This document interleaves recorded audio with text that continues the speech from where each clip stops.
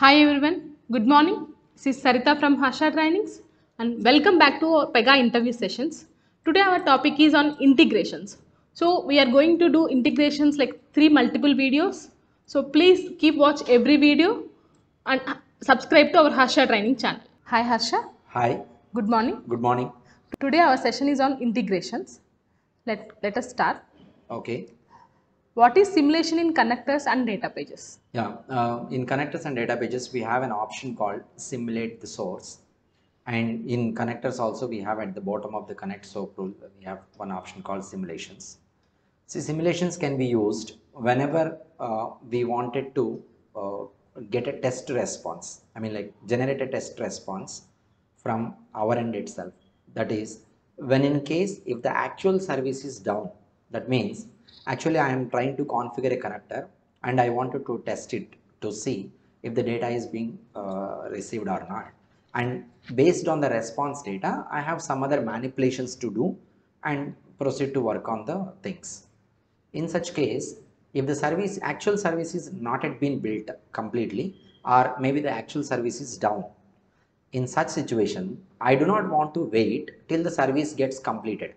Service and the, for, for them to build the service and complete it, I don't want to wait.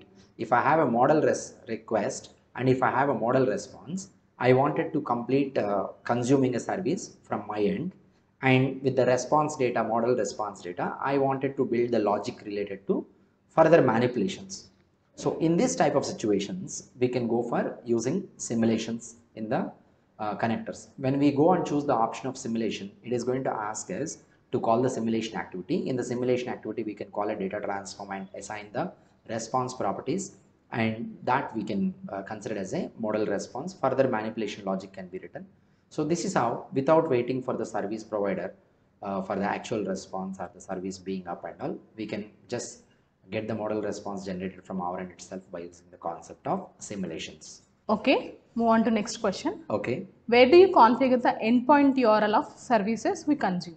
Okay, so whenever we are trying to consume any web service from PRPC, so the endpoint URLs of the service will generally configure in the DSS, that means dynamic system settings. So the reason for configuring in the dynamic system settings is whenever we move our connector rules from one server to another server, that means development to integration, integration to QA and QA to live. So the URL that is present in the connector rule cannot be modified because the connector rule rules are rule instances. But the need is going to be like after we move it to QA, the endpoint URL should get updated to QA URL of the service provider. And similarly, UAT, UAT URL, live, live URL of the service provider. This is not possible directly modifying the URL in the connector rule itself. For that reason, at the time of calling connector, we can pass a URL uh, by uh, assigning it to a parameter. So now, if I define the URL in DSS, and I can retrieve the date uh, that particular URL from DSS by using get data system function and assign get data system settings function and assign that to a parameter and that parameter I can mention at the time of calling connector. Now after this uh, uh, development testing is completed when it go to QA in the QA while testing we have to modify the DSS entry with the QA URL of the service provider. For that we need to direct we can directly open DSS and modify the URL the reason being DSS is a data instance or we can delegate and modify. So that's how in order to modify the endpoint URL from environment to environment, it will be easy when we go for DSS. That's why we are going to create a DSS and configure the endpoint URLs there and read it by using get data system settings function and pass it to the uh, connectors while calling the services. Next question. Okay. What are XML stream rule and parse rule? So in Pega we have two different mapping rules called XML stream and parse XML rules.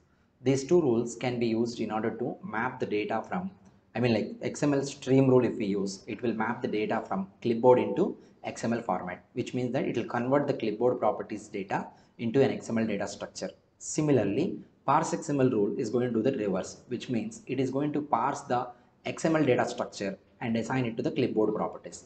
So in order to convert the data from uh, clipboard to XML, we use XML stream rule. In order to convert the data from XML into clipboard, we use parse XML rule. Thanks for watching this video. Please subscribe to our Harsha training channel. If you have any questions or doubts related to interviews or if you face any typical questions in interviews, please post it in comment box. We'll reach out to you. Thank you.